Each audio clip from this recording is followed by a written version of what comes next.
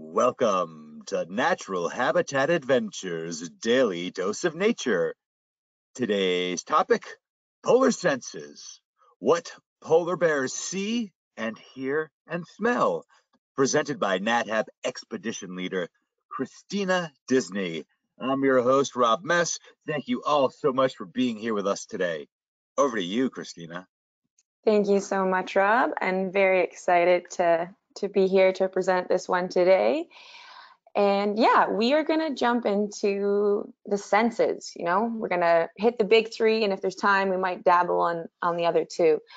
But I guess the first thing I wanted to start us off with today was actually thinking about our five senses, both for ourselves and, and then how we understand them for um, not even just other species, but for other people. Our senses are a very personal thing you know we we have all these measures that we use to compare you know the eye charts that you go to and the doctor or the hearing tests you have to take. Um, but the reality is that even from person to person these things are are so very very unique right? We can look at this screen and that little rainbow of colors that we see.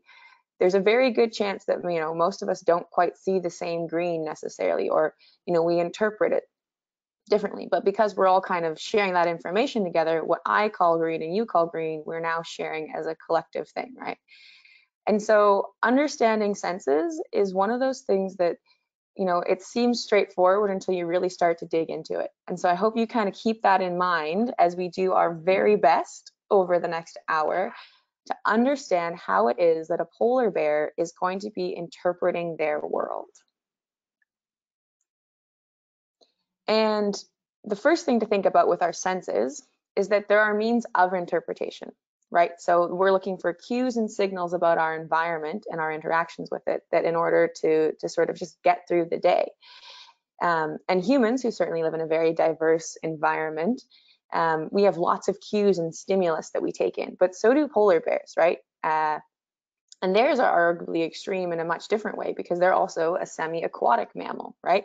They're spending some of their time living, certainly, or spending most of their time on the water via the ice or in the water swimming, right? They're hunting a prey that is also semi-aquatic. Their, you know, their primary prey being seals that are going to haul it onto land. And so all of their senses have evolved to fit these uh, environments as best they can, right?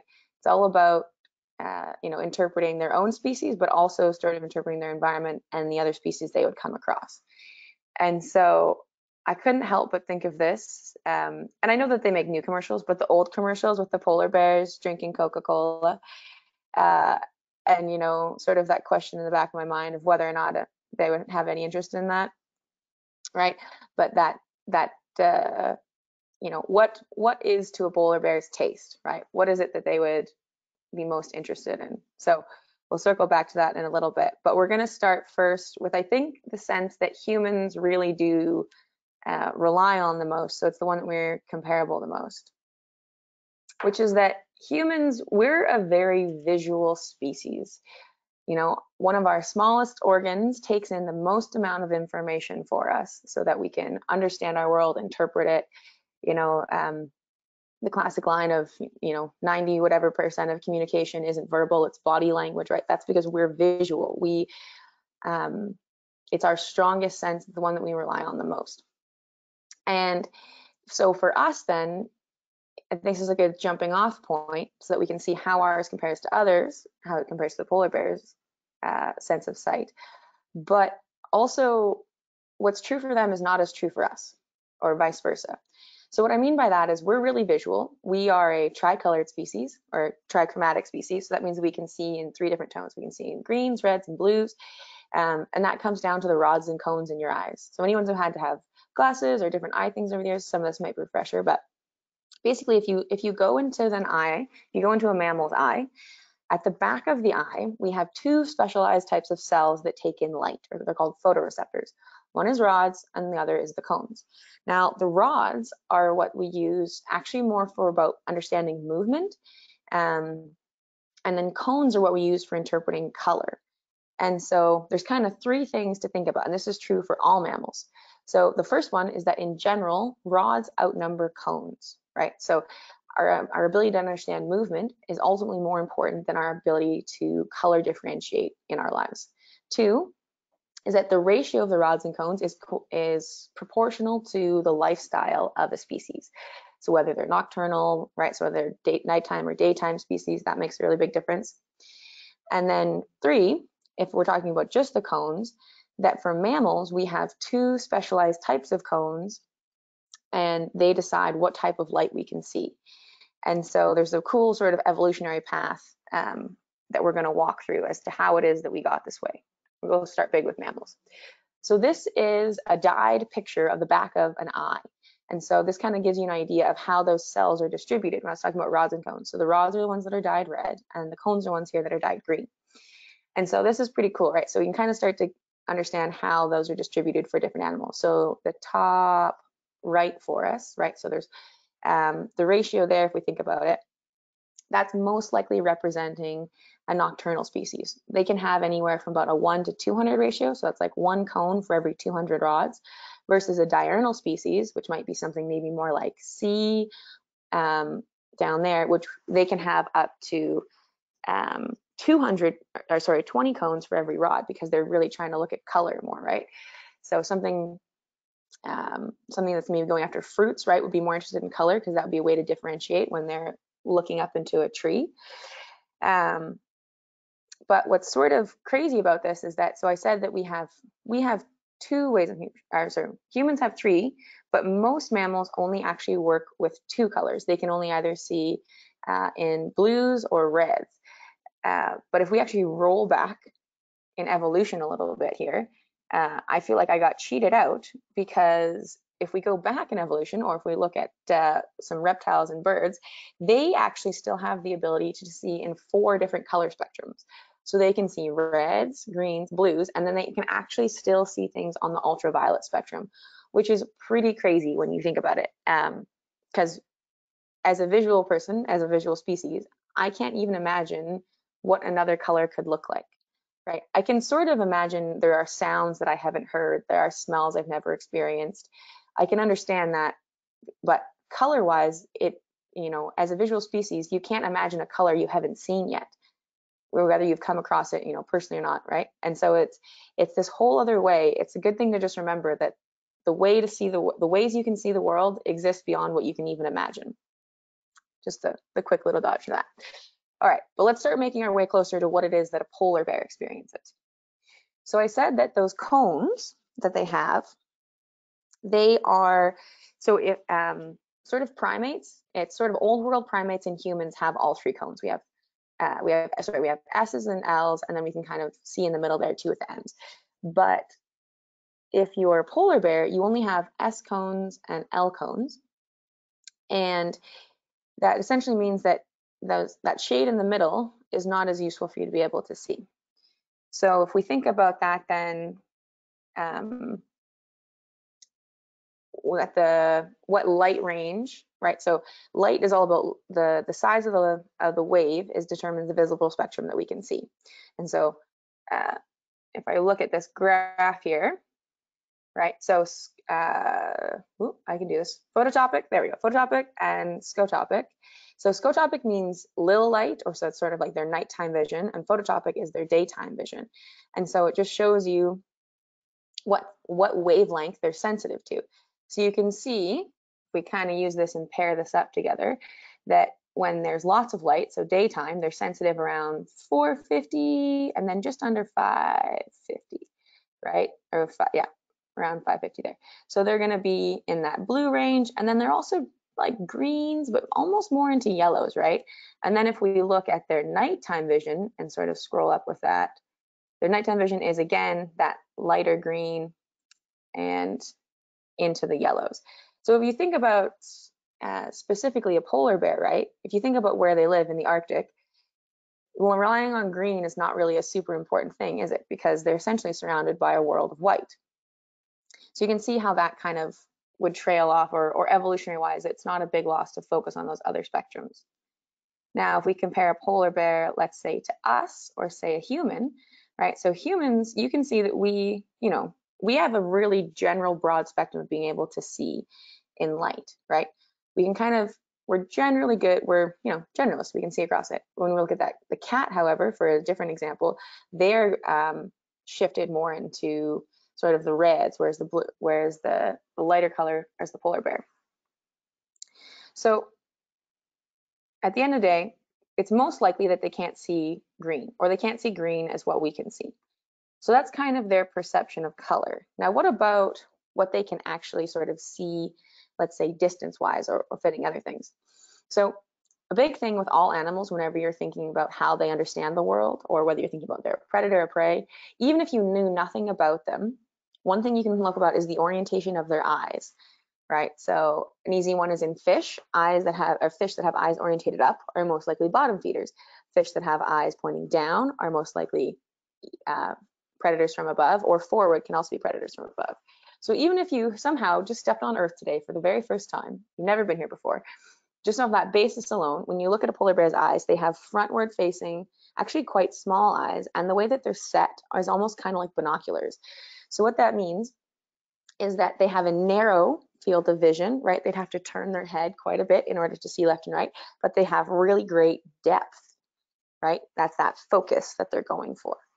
And that's what they focus for because they're going for, right? They live in a very sparsely populated prey area, relatively speaking, so they have to travel long distances. So they're looking far and wide. And that's what their their goal is. The other thing to keep in mind is that like other placenta mammals, um, they have what's called tapetum lucidum. So if you ever look at your cat or if you ever shine a light, you know, on a bush in the dark and you can see your dog's eyes, right? That's because they're able to collect more light because they essentially are have a uh, reflective property in their eyes so that at nighttime they can bring more of that in. And so polar bears can see sort of like they're I guess that's what I'm trying to get to here, is that polar bears live in a very interesting environment when it comes to are there is it easier for them to see at night or is it easier for them to see in the daytime? And the answer is they do the best they can in both. Because if you are a polar bear, it means that you are most likely experiencing both polar day and polar night, right? So when you go to the extreme ends of our Earth, or the South Pole or moving towards the North Pole, it means that you're eventually going to have days that have 24 hours of daylight and then you're gonna have days of 24 hours of night. So evolutionarily, if you're a bear, it doesn't help you to get really good at seeing in the daytime or to get really good at seeing at night because you're gonna have to spend an equal amount of time under both of those conditions.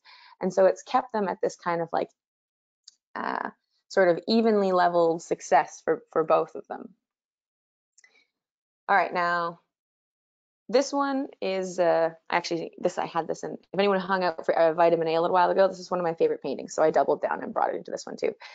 Um, okay, so we talked about color, we talked about night and day. Now let's think about distance and what it is they're seeing through.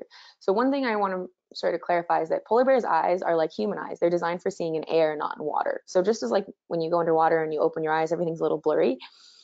It's because we have a circular iris, whereas marine mammals actually have a whole sphere that's able to take in the dimensions that they need to see in water.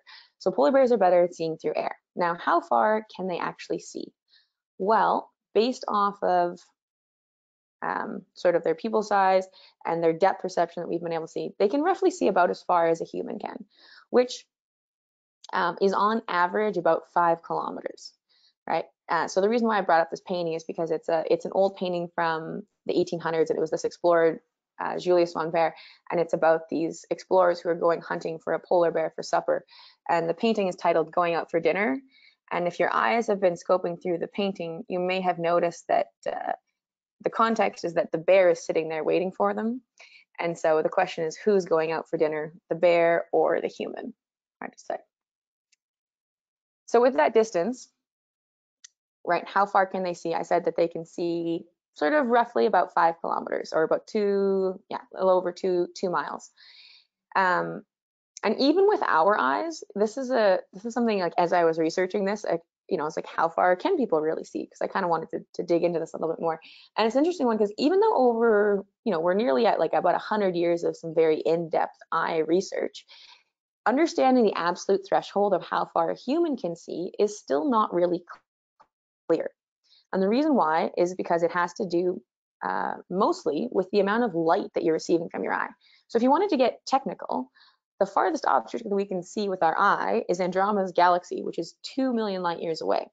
right? Because there's still enough photons for our life, for our eyes to actually gather that, right? So it's all about what we can focus on. So it's kind of like, it's a bit about the shape of your eye, but it's also just how much light can you gather? Or think about, go back to thinking about your eyes like cameras, right? If you hold a camera still for a long enough time, then you do gather enough light to actually see things. So as long as you're not truly in absolute darkness, sight is really, again, it's a very personal thing and it's very dependent on what's happening. So it's uh, it's a pretty cool one that we take for granted, I think, uh, just how amazing it is, all the information that our eyes bring in for us. Now, the polar bear eye has a few more cool things about it that I am equally jealous of, let's say. One is that they have what's called a nictitating membrane. So what that means is they actually have a third eyelid. So you and I, we open and close our eyes and that's vertical. But polar bears, actually like a lot of birds, have a third membrane that goes across their eye. And this is believed to protect their eye for swimming in water. So it doesn't make it clear. It's not like a, it's not like putting on goggles for them, but it's a protectant, right? Think about having to swim in salt water all the time. It definitely starts to irritate your eyes a bit. And there are some theories that this is actually one of the things that might help with snow blindness, but that's kind of um, sort of up in the air. Not all the researchers out there agree on this one. There's a few things that you think about it.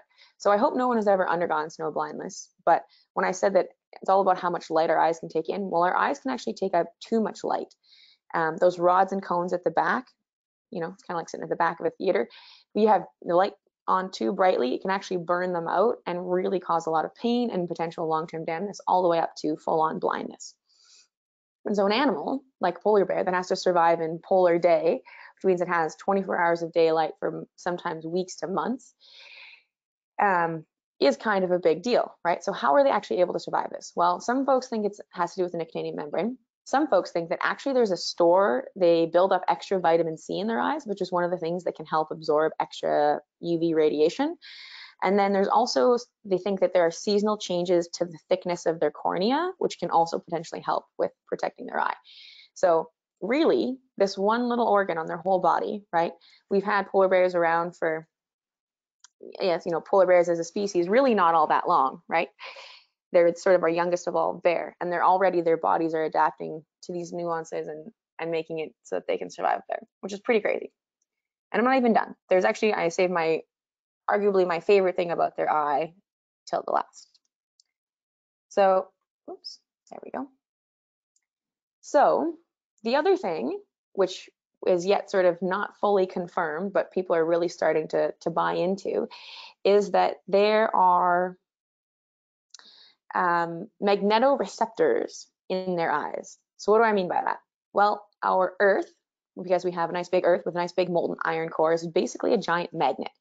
And even though us poor, pitiful humans can't feel it anymore, we're starting to understand that there are so many animals that actually can feel the pull of the Earth's magnetism. Animal magnetism at its best. Sorry, I couldn't resist. But what I mean by that is that there's distinctive sort of bands of, you know, if you think about your your north-south on your magnet, there's actually the way that the particles are going to flow to it is distinct. And those are relatively constant through time. They do kind of change, but that's on the order of like thousands to millions of years as those things change. So for the order, for the lifespan of an animal, they have really consistent bands. And so it's almost like they're walking with their own little internal GPS. And what we're starting to learn is that those, the cells that we think are interpreting that magnetic symbol are actually found in the eye. So what they're called is they're called cryptochrome cells.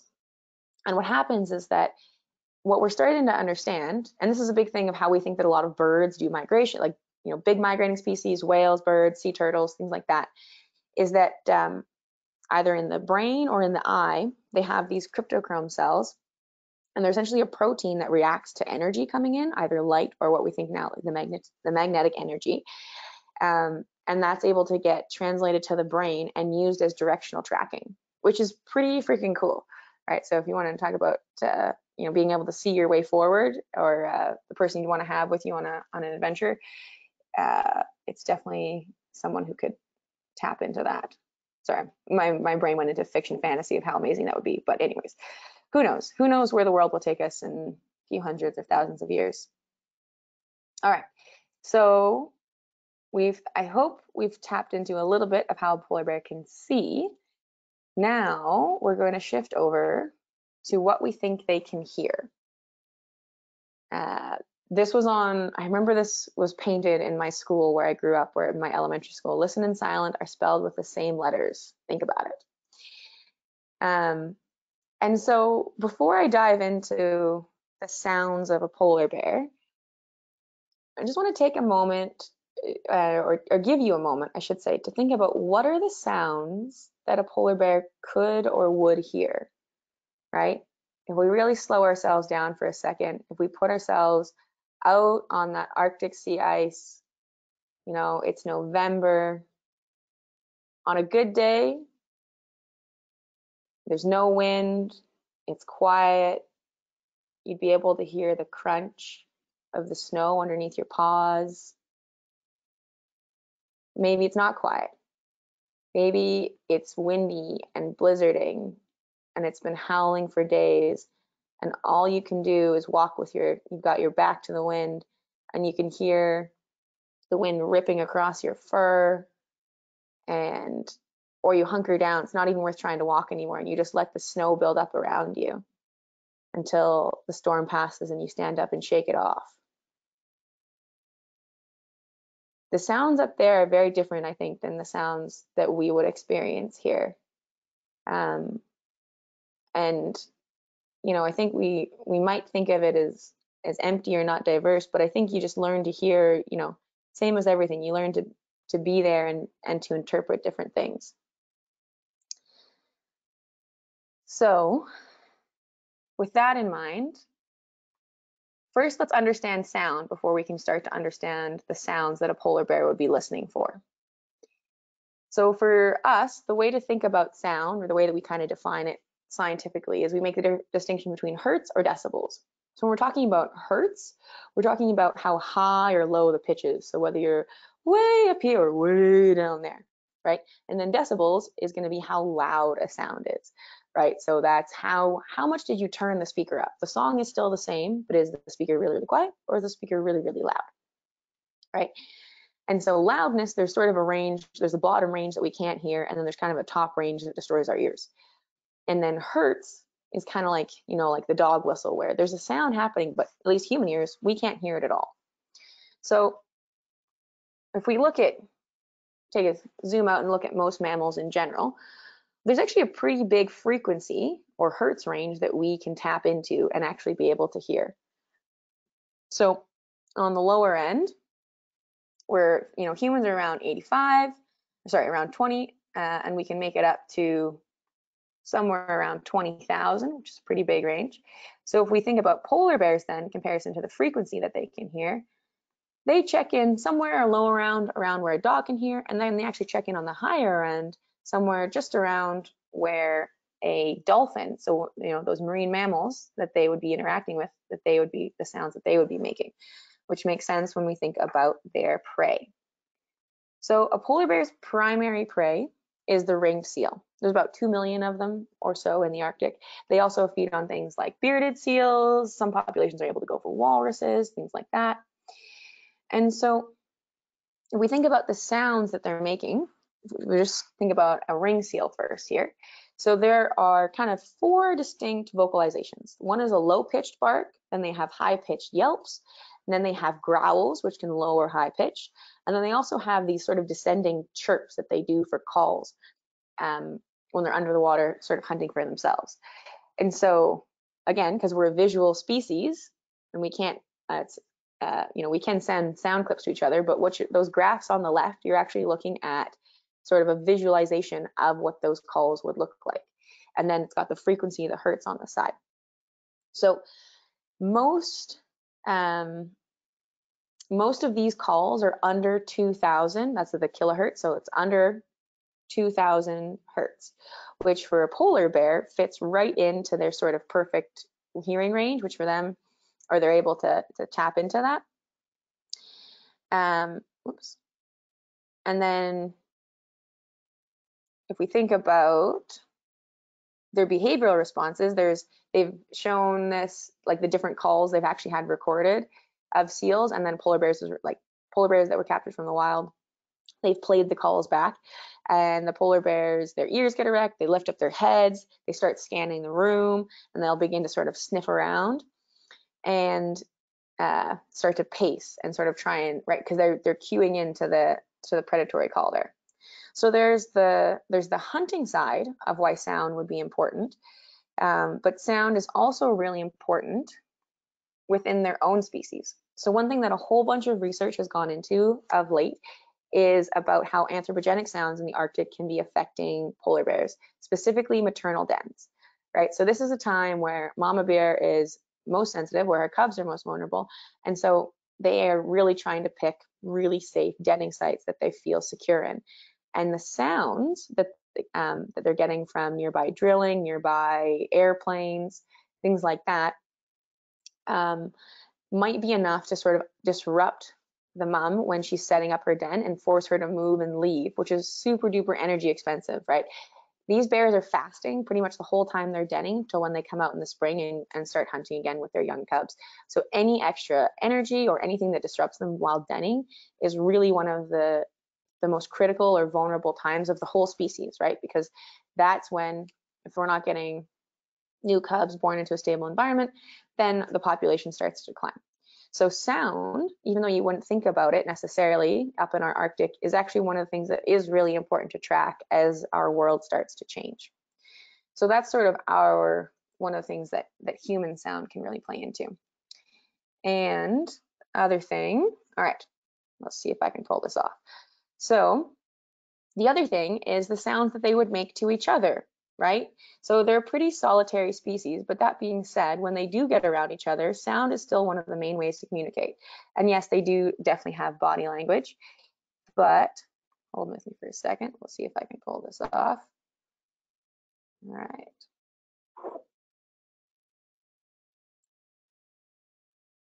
I think, you know, again, we get used to seeing pictures uh, of bears. And so it's something else when you have a chance to tap into the sound of what they make, right? Um, because they're not always as expected, you know, they're not always these these fierce creatures. Um, so comfy. I'll admit I don't quite like the human voicing over of it, but these are the It's cold.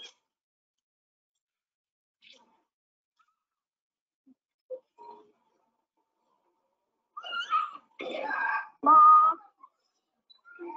Vocalizations are so important when they're cubs. It's the, the earliest communication that kicks in from like the moment they're born.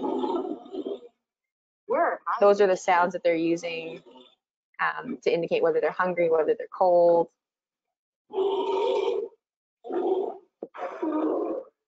Come back. And sound is what mom uses to indicate back.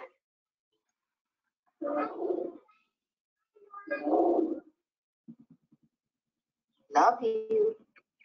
And this is, so most people wouldn't call this purring, they'd call it humming, and I'm gonna come back to that one in a bit. Hello.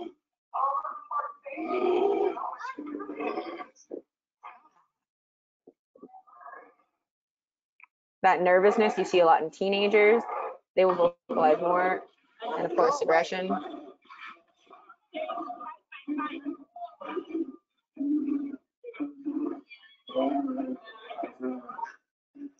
Back off.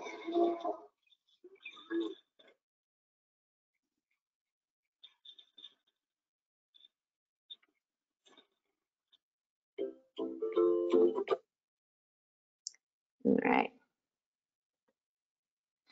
Um, yeah, right. Those sounds are there. Uh, it's just funny because humans, you know, one of our first things we do is we shout out and we reach. But this interesting thing is like for cubs, it makes sense that vocalizations would be their main wing because they don't ha- they haven't developed body language yet, right? Bears are generally very quiet species. It's only once you push them to more of extreme emotions that those sounds come out. So it's kind of the same as people, right? Our, our little babies cry a lot because they're not able to communicate in the other ways that they want to, right? If they grow up, if they grow up to be like me, they'll talk with their hands all the time. Um, but oops, come on back now.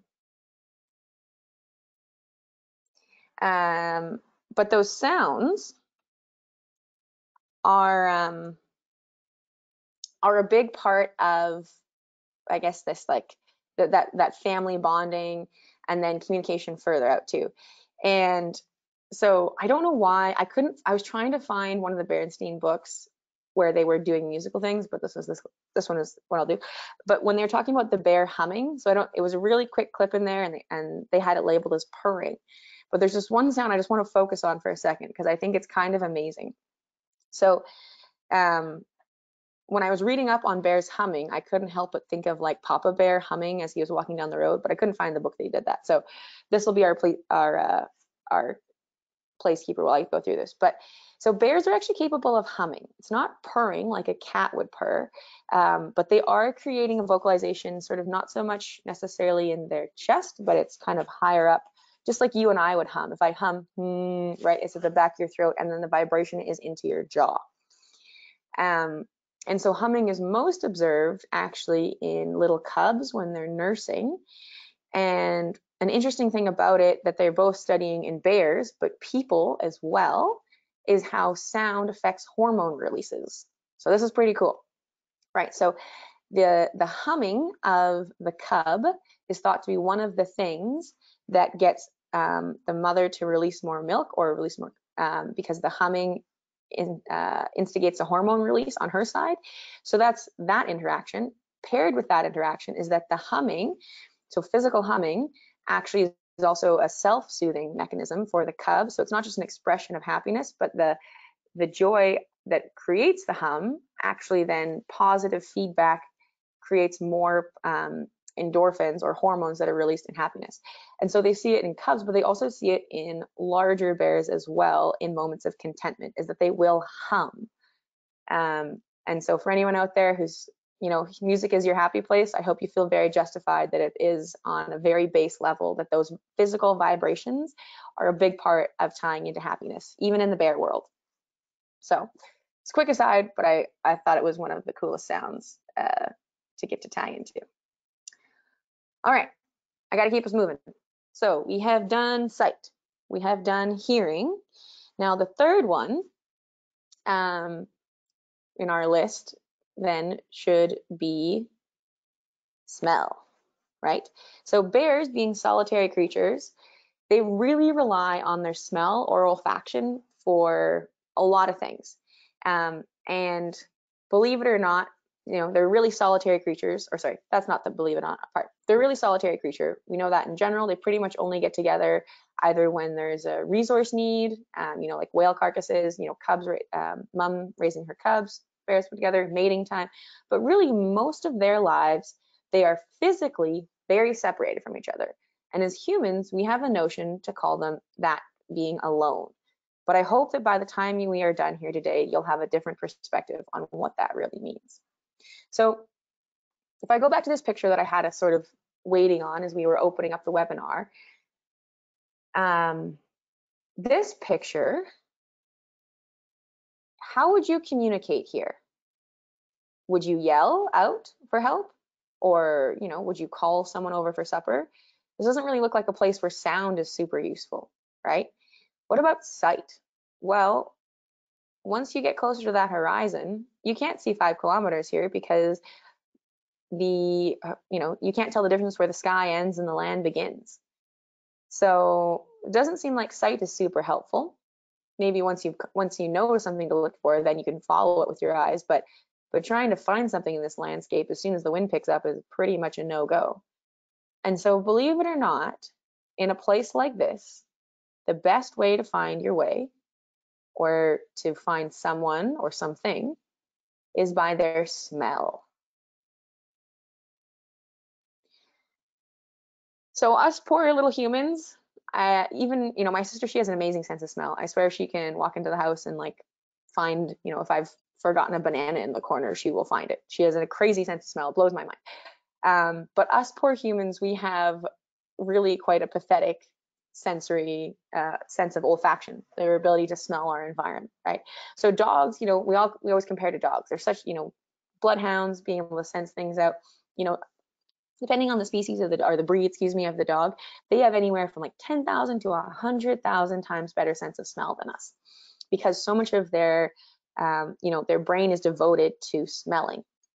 So what that means is like a bloodhound, they can find, so if you think about just like molecules in the air, if they're looking for a smell, one molecule in one trillion, that's what their nose is able to pick up, right? Now I'm gonna tell you that bears, and, specific, and definitely even polar bears, have a way better smell than even the best bloodhound you have ever come across, right? All the better to smell you with. So the nasal cavity, and, it, and it's all about because their bodies have, have sort of evolved and they've devoted their nerves into developing their sense of smell. So their nasal cavity um, is filled with these little labyrinth of very thin bones. And that's sort of the skeleton or the structure, the scaffolding, let's say, that holds what's called the epithelium, which are this thin layer of cells that are all that are filled with nerves. And so what happens is that when they breathe in, molecules interact with this really thin skin filled with nerves and it sends electrical signals, information to the brain to be interpreted. Sorry, just give me one sec.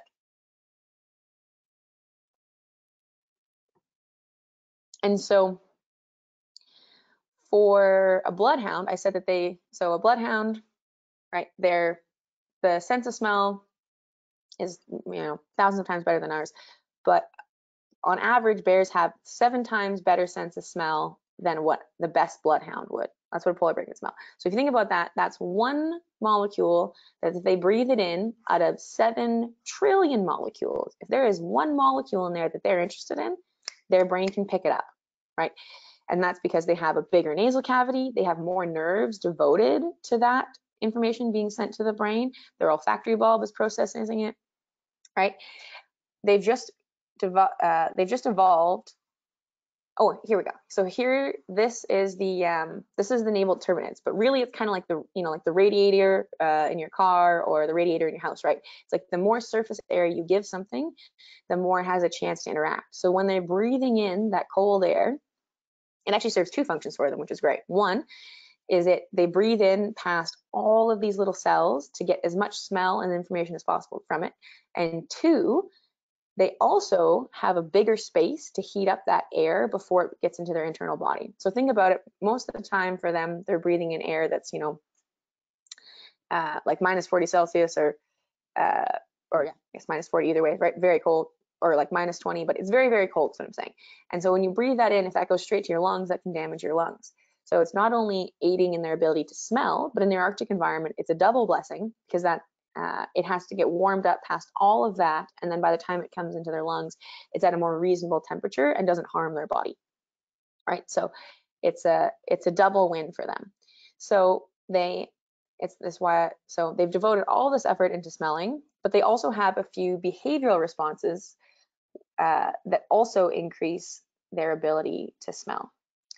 So one of them, which they share actually with lots of other mammals, is called the Flehmen response.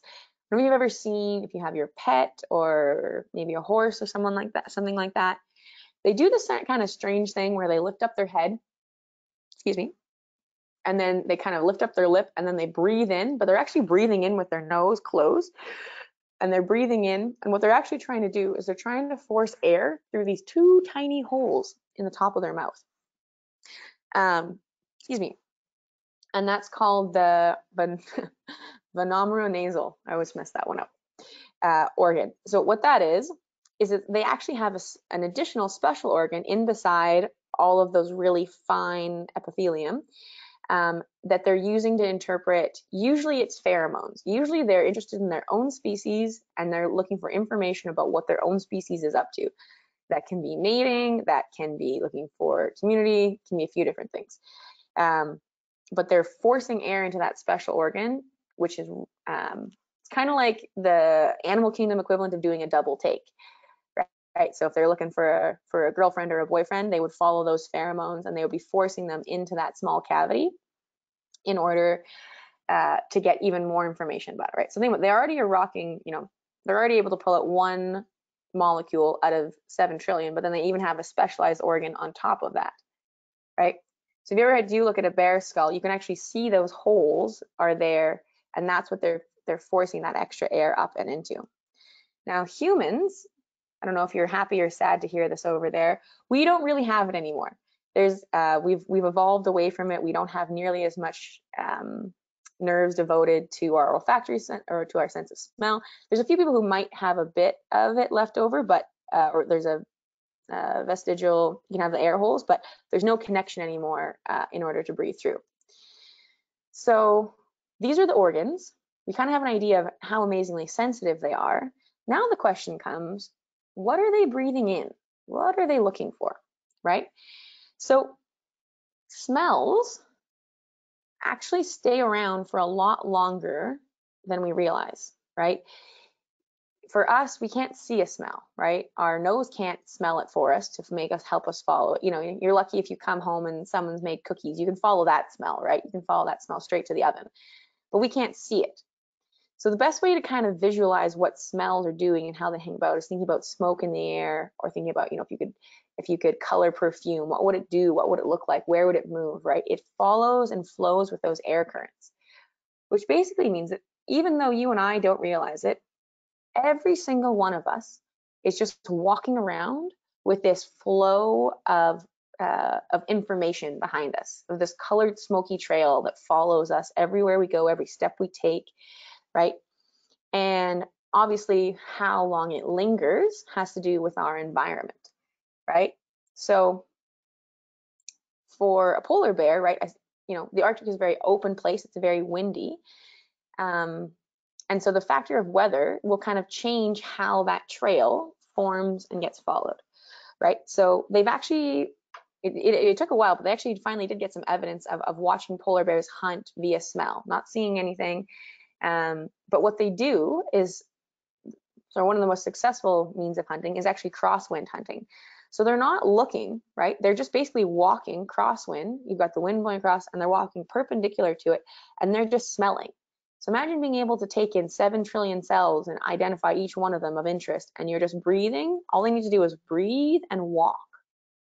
And as they do that, any trail of something interesting and yummy upwind of them is going to be able for them to pick them up. So to give an, an idea of that, seal um, Polar bears are able to smell a seal at its breathing hole. And this is not a, a, seal that's done anything. It's just come up, taken a few breaths, and gone back down at anywhere sort of from a three to five kilometer range downwind, right? So a couple miles away, they're able to just smell a seal that's come up to breathe. It hasn't laid on the ice. It hasn't done anything. All it's done is taken a few breaths and then gone back down in the hole, which is pretty amazing when you think about it. And also when you think about how seals sort of work and function, they have their density. We're gonna stick with ring seals now. We're just gonna focus on one prey because otherwise we get real convoluted if we go down the other rabbit hole. They are on average, there's about a, like maybe one seal for every square kilometer, right? That's if you average the whole area. Obviously, there's areas that's really, really dense. There's areas that there's not one. And that usually one or two might share a breathing hole, but they don't share more than that because then they get too dense and there are consequences to uh, to it. So what they'll do often is they'll keep more than one open and one or two will use it because they have to keep them open actively. That's another thing to mind. Next, you have claws and they have to scratch at them to make sure that they keep that breathing air, that breathing hole available to them. Otherwise, they can suffocate because they're still a mammal. They need to be able to breathe that air. So in general, they'll keep their breathing holes spaced about 200 meters apart. Um, and then polar bears, what they'll do is they're walking across one, and if they get scent of one, then they start walking up one, and they follow that trail. They follow those cookies to the oven, right? They're following that smell. And on the ring seal side of things, this is pretty much a game of cat and mouse that they've evolved over the millions of years that they've coexisted, um, such to the point that seals are very, very uh, head shy creatures. One is that they don't really like to haul out, but if they do, they always make sure that they're facing downwind. So that polar bear who was walking crosswind and is now following their scent is going to be downwind of them. So anytime you see a seal haul out of the water, you look at its face, that can tell you what direction the wind is flowing or the wind is going, excuse me. They also very, very rarely ever get more than a, like a body length away from the edge of their hole because they are very slow, right? They have fused hips. They pretty much have to do the worm to get back into the water. And so a polar bear will run in charge and it's this race event for who can, whether it can get back into the hole beforehand. Now, like I said, that it only takes a few breaths for a polar bear to have enough molecules for them to find them, And you're gonna be wondering, well, where is that smell coming from? Well, it comes from different places. But most mammals, including us, although we are not nearly as conscious of it, I would say, as many other animals, have uh, scent glands in different parts of their bodies. So seals, like a lot of other animals, like cats, have scent glands in their face and along their cheeks, right? And those are oil-based, right? So oil-based things reside, can stay in their environment for a lot longer than most other, uh, than anything water-based, right? They'll really stick around. And so what that means is that those are, even for you and I, we have all these hormones that get excreted from our cells, especially when we sweat, right? So when we sweat, and, you know, when sweat comes off, that's where all that oil builds up from. And mammals have been using that as a means of communication um, nearly pretty much since their existence. So for most bears, when they also have scent glands on their body, right? If we shift over from thinking about this from predatory and sort of uh, within the species communication, they're not only interested in the sweat of other animals, but they're interested in the sweat of their own. So if you ever see a bear rubbing up on a tree like big Ol' Baloo, part of it is yes, maybe they do want a back scratch, but more likely they actually have scent glands on the back shoulders. And what they're doing is they're like a poster board. They're basically leaving information behind for the next bear to say, who was here? Who stopped by? How long ago were they here? Right? Were they male? Were they female? Were they young? Were they old? They might even be able to identify down to sort of individual level. We haven't been able to figure that part out yet. But if you think about our polar bear friend, they don't have a nice tree to scratch on or or or a, a big boulder even to leave a note behind on. They pretty much only have the sea ice the majority of the time. So what that means is that they rely a lot more predominantly on the sweat glands between their toes. So they actually have, and just like you and I do, right? Our hands, you get nervous, you get sweaty. We've got lots of sweat glands here. Well, in between polar bear toes, they actually have special glands that release pheromones. And those can last in their paws. Well, they haven't actually done a study for polar bears, but did it for pandas, and it was like more than 60 days. So think about that. If you walked by here a couple months ago, you've still left information about who you were for someone else to read months later, which is pretty darn amazing. And so other bears will come along and smell the footprints to see who's there. And if they're interested in them, let's say if it's a male who is suddenly interested in following a female, he will get cheeky and he will step exactly over her paw prints in order to mask her scent with his, which is pretty crazy. All right, how am I doing time here? I'm gonna do a quick nod. We've covered the big three, I would say.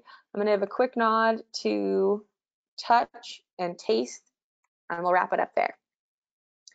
So, just like you and I, right? Polar bears, their ability to touch um, as a mammal is made up in what's called a Merkel cell. It's what looks like that little squid blue thing at the top. So all of our cells, we have them, um, but obviously we have them in different densities, right? So kind of just like us, most of theirs are accumulated in their paws and around their face, right? Um, but they also, in most mammals, would have whiskers, right? And those whiskers would have a lot of those cells around them. Now, really interesting thing in polar bears is that they've actually sort of de-evolved their whiskers. They've given up on that sense of touch around their face, or they have prioritized it less compared to, say, a brown bear or a black bear, or even just any other carnivore, really. So they're no longer interested in that as a, or it's not a helpful form of information or signals for them to get. And if you think about why, it has to do with their Arctic environment, right? So for them, when they're breathing in and out, the whiskers would often just get covered in frost, right? And so that would then always stimulate those cells of yes, if they're being touched. And so it was not a helpful thing to keep in the Arctic, which is true actually if you look at a lot of Arctic species, right? They really shorten up all of those things because they're not helpful. Another just quick cool aside is that those whisker spots, so that's what that picture is of on the right, the little black dots that line up.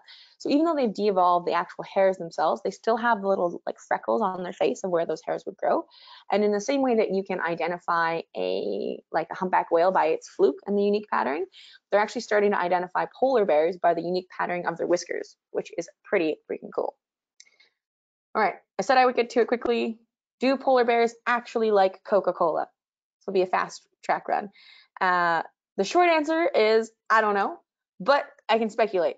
So we actually haven't done very many taste studies about polar bears and what type of foods they do enjoy. But we've uh, but there has been a lot of work done on pandas, so we're going to use that as a parallel. So first, uh, so pandas have actually hyper evolved the ability for sweetness and for bitterness, right? If you think about the five senses, you've got sweet, salty, uh, sour, bitter, and umami. And so um, they've lost sort of the like um, meat flavors, like the umami flavor.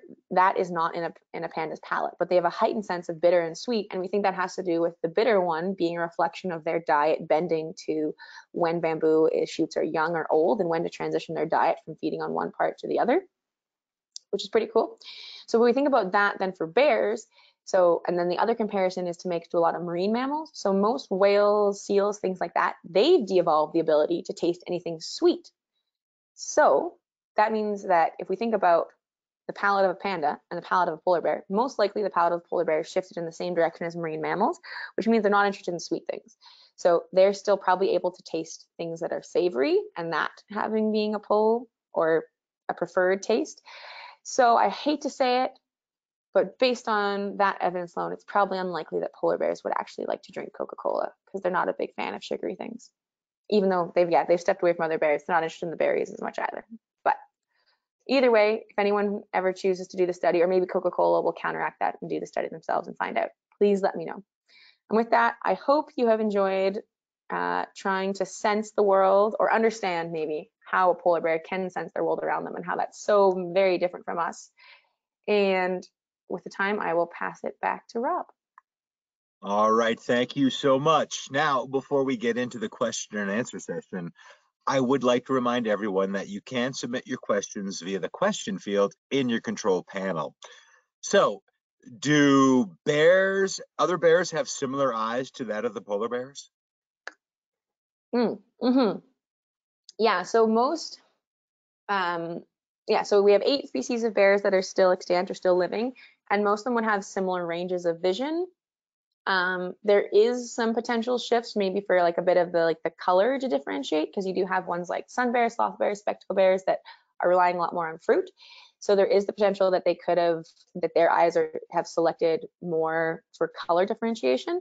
Um, but in general, they'd still be dichromatic, so they still would only have those those red blue phases uh, cones or wavelengths that they're able to see. Great, thank you. So what about sense of smell? Do they have a more defined sense of smell than other bears do? So yeah, so polar bears relative to the size of their like brain and head have the largest amount of nerves dedicated to olfaction, so to smelling. So obviously, again, it could be different, maybe slightly bear to bear, but just in general, their species is more heightened for smell. They're they're more reliant on it to to navigate their whole life. Gotcha, thanks. So one of our guests noticed in their polar bear pictures that uh, the polar bears have their tongue sticking out. Is that some sort of sensory thing for the bears as well? Yeah, I'd be curious about when the photo is, and there's a few other things, but yes, there there are some benefits to that, right? So you can think about um, even you and I, right? We can taste and smell things the same way, and you'll see dogs sometimes even do it too. But it's about getting more information in, um, either yeah via the tongue or just deeper breaths, um, or at the same time. Um, the only other thing I would think about would be wondering what time of year it was and how hot they were. So it's like a side funny thing, but there also there's not a lot of places. Um, bears are like dogs in that way. So as far as expelling heat, they actually really can only lose they're so well insulated which is great for the wintertime but is really bad for for warmer seasons. So if that is happen to be when you see them they can only sweat from their paws and actually their mouth and sort of around their face is where they can lose heat from. Um, so if you were say like for me i'll be in churchill here in october those bears are very hot. So that can be one of the heat responses. So can polar bears uh, smell these scents if they're if the air is calm and it's and the smell is really far away. I mean do we know how far away they can smell things from? Yeah okay so i was head shy to put in some numbers on this because some of them are not or it's like um there are stories of like so well these are personal accounts and not stories in made up but but personal accounts of a bear turning direction at more than like 20 30 kilometers away being able to smell something upwind right? So obviously it depends on how much wind you have, the source of the smell, uh, how consistent wind pattern is. The other thing to think about though is that if it's not windy, it also means that that smell doesn't go anywhere, right? So as long as the whatever the molecules are, if they don't degrade, they just stay concentrated. So they actually just sort of settle in the air. So even on non-windy days, there's still lots of information for them to have there. It's just not spread across the same amount of distance. Um, so the reality is that they like probably a whale. So imagine like a whale carcass on a windy day. I would not be surprised if they could smell it from like 20, 40 miles away. Like that wouldn't, I wouldn't even bat an eye at that, right?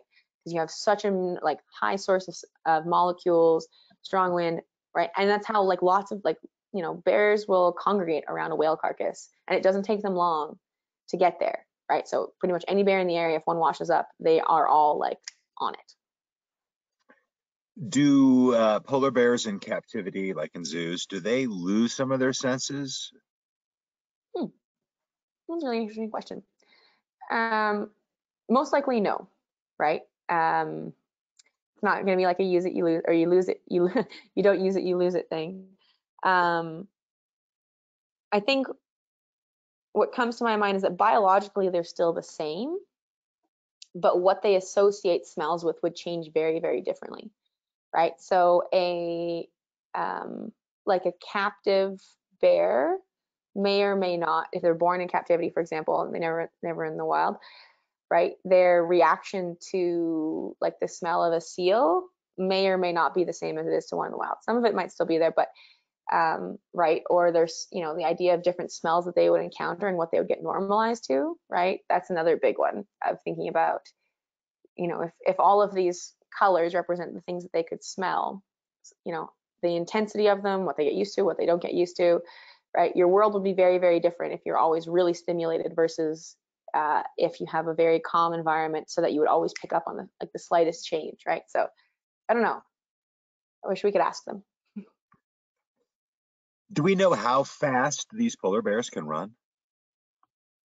That's a good question. Uh, so on average, it's about oh, I, haven't done, I think on top of my head, about 35 miles an hour, faster than I can, and about faster than you can. But they're sprinters, so odds are you wouldn't be able to outrun them. But they rarely run for more than a kilometer or two because it's just such a high energy expenditure. It's not within their, uh, it's it's not worth it for them. They're they're normally like sprinters on the scale of you know maybe 100 meters or a few hundred feet kind of thing. Great. Thanks for addressing that. Uh, unfortunately, that's going to be the last question that we do have for today. So I'm going to throw it back to you for any closing comments you may have for us. Thank you everyone for joining in today. It was uh, it was a pleasure to take the time to view the world through through another senses. I hope you also enjoyed that as well. Take care. I've got one more webinar webinar before Churchill comes, so probably do one more thing on some polar bears. If you want to make any suggestions, feel free to leave one in the comment. Um, but otherwise, take care and yeah, please enjoy um, whatever the day unfolds for you.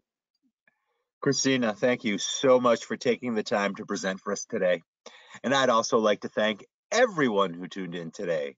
If you're interested in information on how you could travel with NatHab, please give us a call at the number on your screen or you can send us an email at info at nathab.com. Our adventure specialists are happy to help you out. Join us tomorrow for our next daily dose of nature. You can check out this week's lineup, including registration links on our website at nathab.com slash webinars. We did record today's presentation and we will have the replay available on our website soon. With that, I will conclude the webinar. Goodbye, everybody. We'll see you next time.